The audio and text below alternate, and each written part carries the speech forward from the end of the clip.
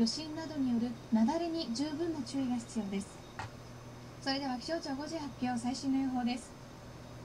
全国的に晴れるところが多いでしょう。日本海側の天気も回復してお西日本では気温が上がってきますが東日本と北日本はまだ低めです。東京は9度で真冬。の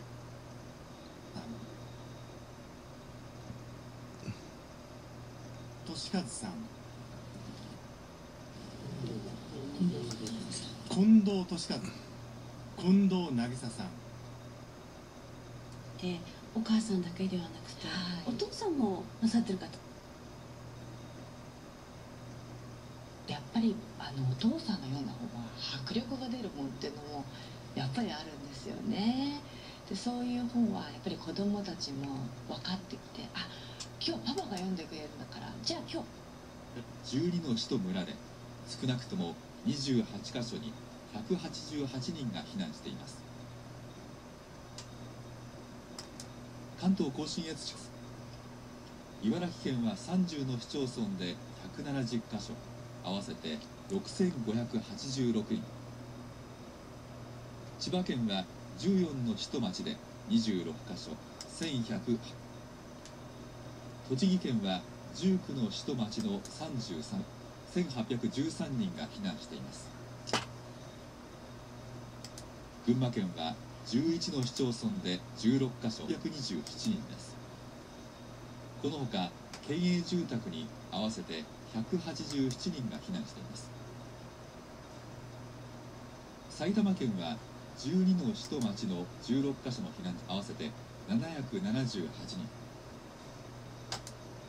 東京都は3つの区3カ所で合わせて364人。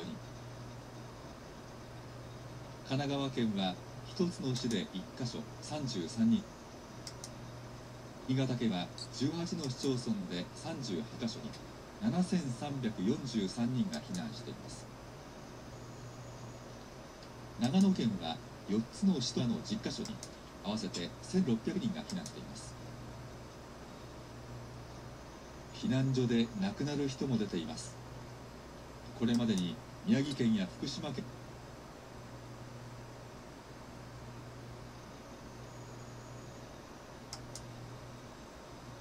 続いていて今朝にかけても厳しい冷え込みになっています。被災者の中には不自由な避難生活で体調をく人も多いことから気象庁は体調管理にも十分注意してほしいと呼びかけています。今回の震災では30万人を超える人が避難生活を送っています。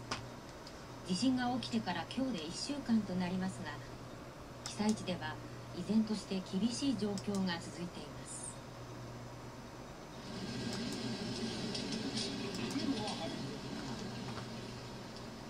厳しい冷え込みに耐え続ける被災地の人たち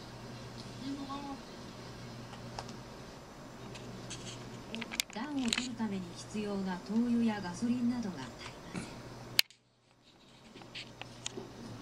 これとこれだけですね。これも買うの。岩手県陸前高田市の気仙町の避難所に残る灯油は18リットル容器1つ分だけ厳しい冷え込みで体調を崩す人がいる中日中はストーブを切ってどうにか過ごしてきましたなんせ木の幹のままで逃げてきたから何もない。ない無理ですね。ストーブがないと。しかし灯油は底をつく寸前です。昨日お薬ないって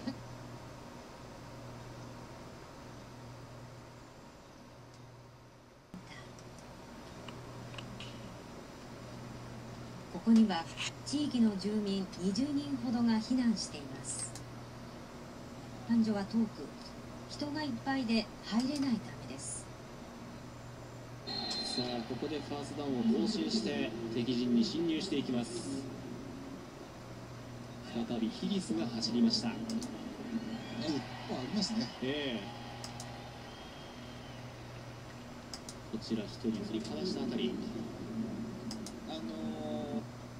俊さん。佐藤。